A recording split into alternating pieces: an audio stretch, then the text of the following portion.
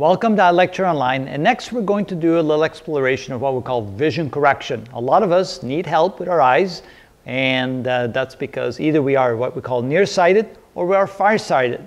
And if we're nearsighted, we call that myopia. If we're farsighted, we call that hyperopia. And what we mean by nearsighted is that a person who's nearsighted can see things clearly nearby, that's why they're nearsighted, but things that are far away are not very clear. They, they can't get that into focus, it looks very fuzzy. People that are farsighted are the other way around. They can see things clearly far away, but when things come close by, when you bring it close by like a book, it's hard to focus on the letters and they're hard to read because they're, they're not very focused. And so that's called farsighted.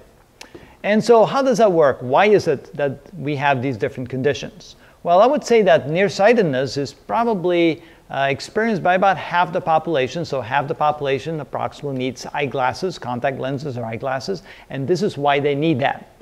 Let's say that you're trying to look at something that's very far away. So this object, um, and so we can say that the distance to the object is approximately infinity. Of course, it's not really infinity, but things that are really far away, in, the, in a way, when we use the lens equation, act as if it's uh, at infinity.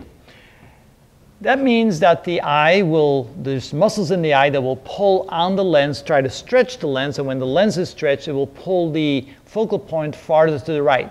The reason why the eye needs to do that is because objects that are very far away will form an image very close to the focal point, just right behind it. And if the focal point can be put near the back of the eye, where the retina is, then the image will not form on the retina, it will form before the retina, and so the rays that then reach the retina will not be very focused and the image will look fuzzy. All right, so the objective then is to get the, to get the focal point to be further back. But the only thing the eye can do is let go on those muscles, for example, and we do that involuntarily. We don't need to try that. We don't sit there and try to exercise our eyeballs, and just naturally. So if we relax our, our muscles in the eye, then the eye will bulge up naturally. But then all that does is bring the focal point even closer, which means you can see even worse at objects that are far away. Matter of fact, this is what we do when we, want, when we want to see things close up, because when objects come closer, that automatically causes the image to fall farther back um, uh, away from the focal. And so the bulge in the lens brings the focal point in and allows a image that, of something that's close up to form at the back of the eye.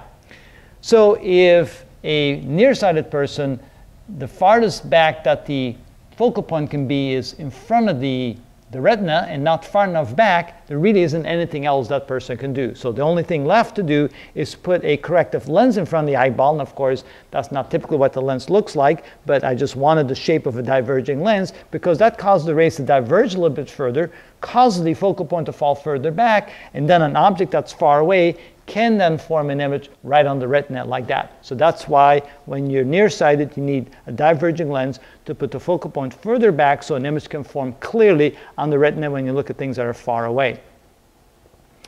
A farsighted person, it's a little different. a farsighted person has no problem looking at objects that are really far away because the lens is shaped in such a way and the eyeball is shaped in such a way that when the muscles pull on the lens and the lens gets made thinner, the focal point falls far enough back so an image is formed right there. The image is formed which is right past the focal point and right on the retina. So no problems for people that are farsighted to see things far clearly.